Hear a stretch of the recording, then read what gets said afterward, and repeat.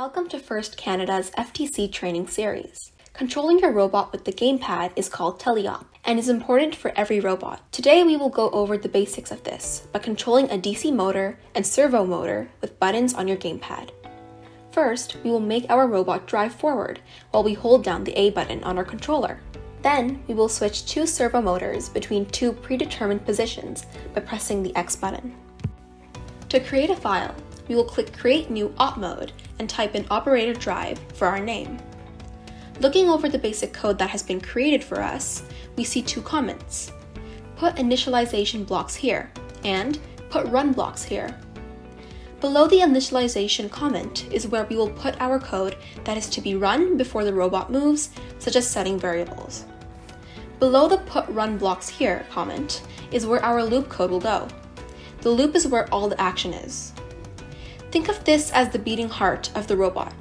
Each beat determines what needs to be done in that exact moment, and after it is done, it beats making it a loop, as the name suggests. The first thing we need to do is change the direction of one of our driving motors. This is because they are facing opposite directions on our robot, and otherwise, when we powered them on and set them to the same speed, they would spin in opposite directions. To do this, we go to Actuators, DC Motor, then select Set Motor Direction to Direction Reverse, then change the motor name to Right Motor. Next, we will add the code to the loop so that our motors run.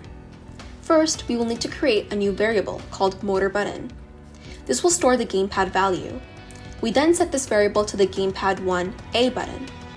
We then need to create an if-else statement by going to logic and selecting it. We then go to variables and select motor button and place that in the if statement. If the button is pressed, then it will execute the code in the do portion, and otherwise, it will execute the code in the else portion. In the do section, we then go to the actuators, DC motor, dual, and set power to both left and right motor. We go to math and select an integer to set the power to and change its value to 0.1 as we do not want it to go too fast. In the else section, we do the same thing but set the power to 0.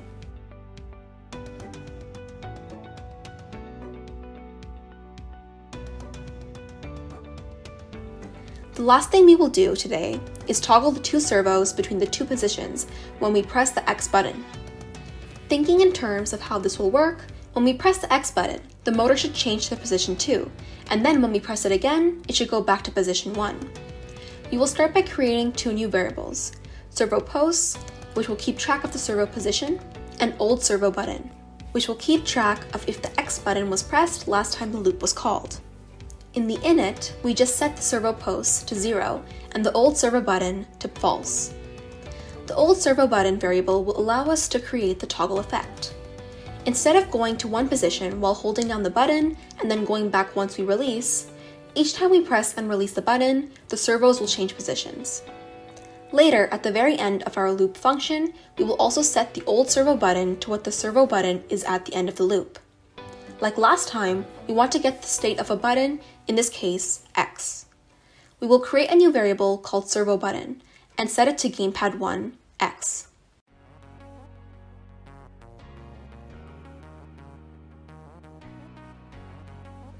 Now that it is defined, we can create the variable old servo button and then set it to the variable servo button at the end of the loop.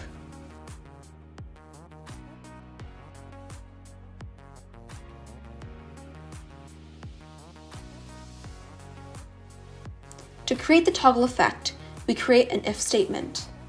We then go to logic and add the AND block to our if statement. This requires two conditions to be true.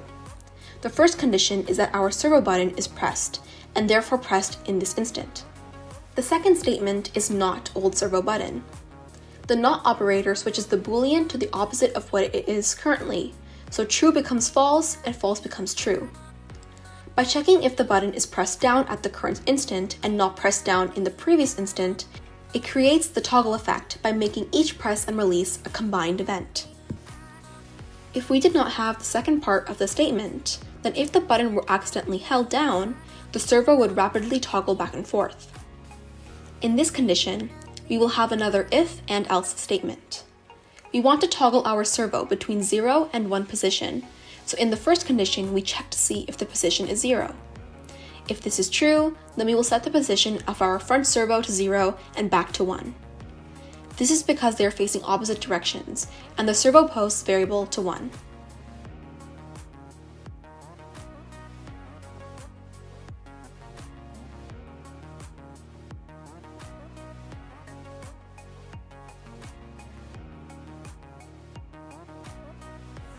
In our else statement, we do the opposite by setting the servo post to 0 and both front and back servos to 0.5. At the end, we update our servo position to the current servo post variable. Depending on how tight of a grip you want or how far out, you can adjust these variables.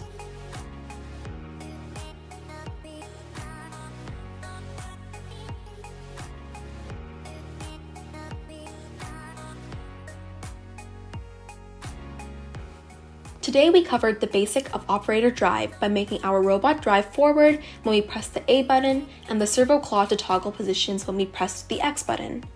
The concepts here are used in every robot to create controls that are intuitive and functional for the drivers.